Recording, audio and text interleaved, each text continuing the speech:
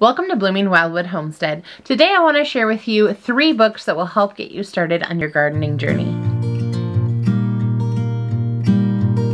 We've talked a lot during the last few videos about the importance of growing your skills during the fall and winter time.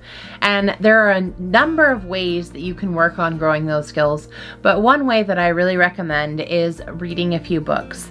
Now, I know for some people there's definitely an aversion to books, and I understand that. However, know that books can actually be a great resource for you. So you may not read them cover to cover, but you may be able to read parts of the book and then go and apply that to what you're working on and read another part of the book and just use it as more of a reference tool. With that in mind, you're able to find some books through the library, or you might even find different magazines and things of that nature, which is a great way to test some things out and see if it's going to be a good fit for you, or see if it'll be a reference book that you want to use in the future. But I would recommend when you find a great reference book, go ahead and pick that book up so that you have it available to you at any time, especially if it's something that you're going to want to go back to and look up information at a later date. So keep that in mind as you're going through and purchasing books. The first book that I want to share with you is called The Bountiful Container. This book was written by Rose Marie Nichols McGee and Maggie Stuckey. And it might not be for everyone, but this book was really instrumental for me in my beginning gardening phase. I was renting an apartment and I didn't have any place where I could do gardening in a raised bed or anything of that nature. And so I got started growing my own vegetables in containers. And this was a great way for me to get started, just to see what it was going to take and to really see how much I could actually produce in a small space. And while it didn't provide the needs of the whole year or it didn't provide me enough vegetables to be able to go ahead and um, do any canning or preserving or things like that. It was a great start for me to see what was needed for getting things started and what it would take for me to be able to keep things growing.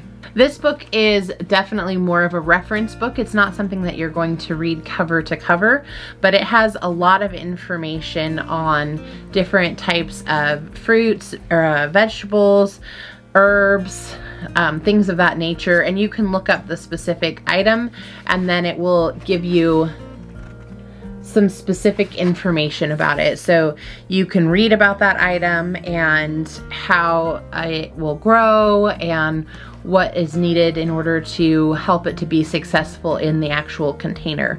So if you're living in an apartment, but maybe your dream is to get out on a farm and a homestead, I would really recommend start with some container gardening and this book could really be helpful for you in that manner. The second book that I would recommend is kind of my next level. So after I moved out of the apartment space, I was renting a house and fortunately the landlords were super nice and let me go ahead and put in a garden space in the backyard and I was able to do some square foot gardening. So this book is called All New Square Foot Gardening, written by Mel Bartholomew. And this is a really easy read. Um, his style is very just very easy to understand. And this might be a book that you would read cover to cover, but then you would be able to go back and use it as a reference point. With the square foot gardening method, I was able to grow a lot of food in a very small space. So if you're still living in the city but you want to start gardening, this is a great, great place to start.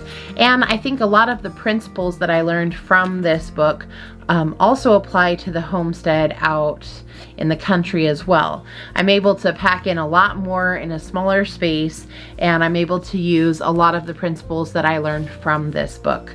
So I would recommend this and definitely have that on hand if you are wanting to get started with square foot gardening and you just aren't sure where to go with that this would really help you to get started. The third book that I would recommend is something that I think any level would really find handy. So when I lived in town, I was able to start some espalier or some apple trees and I ran them along my fence line because I just didn't have the space to be able to grow them in maybe what you would consider the standard way. So I really needed to know how to prune them in order to get them to fit into that space and I really wanted to learn how to maximize my um, maximize my fruit output while maintaining the tree in a way that was manageable and it was really really helpful for me to be able to do that. And so this book is called pruning and training the definitive guide to pruning trees shrubs and climbers by christopher brickell and david joyce and this book is something that I've been coming back to. So now that I'm out in the country, the orchard that was already set up here on the property, um, they're more of a standard conventional type of, of setup. And so pruning looks a little bit different for me. I was used to really compacting things and trying to keep it on the flat plane and here everything is more 3D and I'm trying to figure out how to make good decisions on what needs to be pruned and how to prune it. I've also noticed that the style of pruning was a little bit different than maybe I envisioned in my mind and so I'm coming back to this book and referencing how can I take some things out and change the pruning style in order to get the tree to be shaped the way that I want it to. So as you can tell by the title, it does cover a lot of other things besides just your fruit trees. However, the information on fruit trees is just really phenomenal. So it goes through all of the different types of shapes that you might see. Some people might have like a fan shape rather than the espalier shape. Um, if you have issues with different problems with disease or insects, there's information on that in here as well. And so again, this is not a cover to cover read, but it is definitely a great resource that I've been coming back to over and over, both when I lived in town and now as I'm out here in the country. It's something that kind of fits the bill for everyone and is something that I'm coming back to over and over again. Um, that's why I think books are great to have on hand so that you can just have that resource available to you. Now, there are so many more books. Um, there are lots that are good and I think would be great resources for you. But today I just wanted to cover some books that I thought would really help you to get started if you are a beginning gardener and you're looking at just getting started with gardening, or maybe you're kind of moving into that intermediate stage, but you wanted a little bit of a boost to kind of get you moving forward even more. So I hope that you can find something that will be a great resource for you. And again, I'll link that down below so you can see those titles and authors in case it's something that you want to check out.